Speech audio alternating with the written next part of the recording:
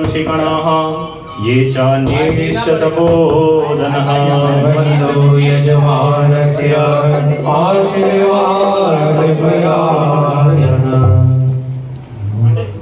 विघ्नेश्वराय वरदाय सुरप्रियाय लम्बोदराय शकलाय जगद्विताय।